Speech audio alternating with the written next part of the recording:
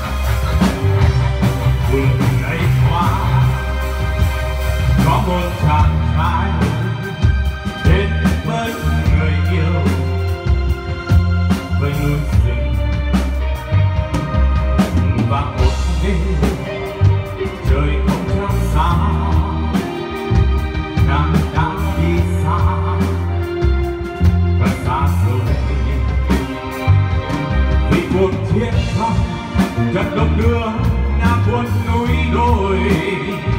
Và chỉ còn biết xa đi ta thức nên từng đêm